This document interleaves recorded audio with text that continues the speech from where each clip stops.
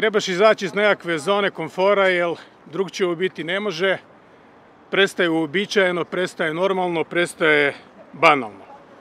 Taj čas je kucnuo na moja vrata, na vrata mnogih od nas, ali na moja vrata konkretno nametom stanovitog Turudića.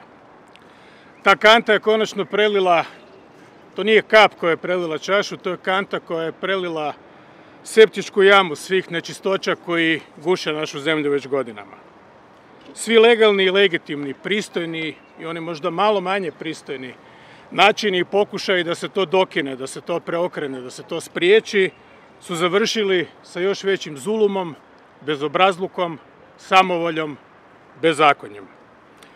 Došlo vrijeme, kako bi rekli moji preci u Splitskoj Zagori, da se konji sedlaju. Okupit ćemo saborsku većinu, vjerujem jasnu i čvrstu, za vladu nacionalnog spasa. Baš tako, nacionalnog spasa i punog gasa krenuti u čišćenje Augijevih staja koje su AP i njegova bulumenta ostavili za sebe.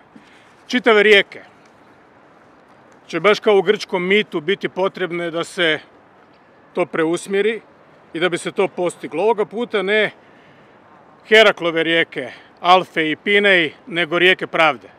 Rijeke pravde dolaze. Obećajem, kao i nekoć, odlučnu i čistu vlast, lopove, ugnjetače i njihove pomagače, izbačit ćemo i zapriječit ćemo im povratak, ali ovog puta na dugo. Na dugo. Sa mnom znate na čemu ste. Ja i moji suradnici se o vlast i uzu se vlasti koji vrijede u civiliziranim modernim zapadnim društvima i demokracijama ogriješili nismo. Vidjelo se, zna se. Boga mi i nećemo. Sve neokaljane i čestite političke ljude, političke ljude i stranke, pozivam na okupljanje. Razlike među nama postoje i nakon ove objave, ili trenom ove objave one neće prestati. Ali od tih razlika, vjerujem, jača je vjera i snaga u to da možemo raditi zajedno i da hoćemo raditi zajedno za dobrobit zemlje koja nam je jedina i do koje je jedino nama zaista stalo. Drugima ili nije, ili ni ne znaju za nas.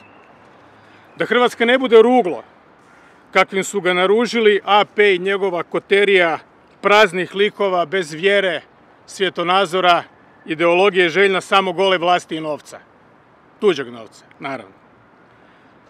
Rijeke pravde dolaze, izliče se u proljeće, cijelom zemljom u proljeće i vidimo se u jednoj boljoj i vedrijoj zemlji Hrvatskoj. Živjeli. Hvala vam.